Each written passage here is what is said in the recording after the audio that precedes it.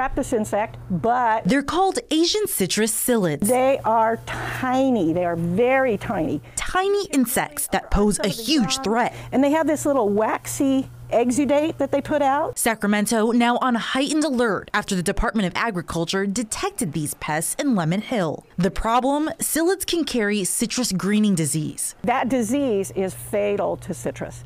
So once a citrus tree gets that disease, it's done for. A quarantine now in place throughout the county.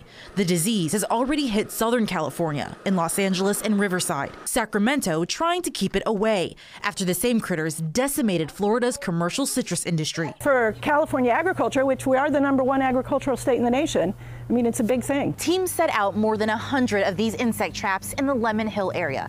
And for gardeners, a sign that your tree might have the disease is if it starts producing fruit that's misshapen or tastes overly bitter or sour. Clues at Ramona Hobson This is the lemon tree, and it has lots of lemons in it right now. is now on the lookout for. I would hate to have it be on my tree.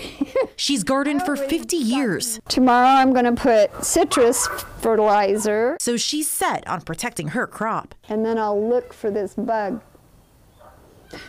As part of the quarantine, people cannot move citrus plants to uninfested counties because they could spread the bugs. The idea is for us to detect these pests if they get here when they're in a very, very small population so that we have a good chance of eradicating them. The county trying to nip it in the bud. In Sacramento, Marlene Martinez, KCRA 3 News.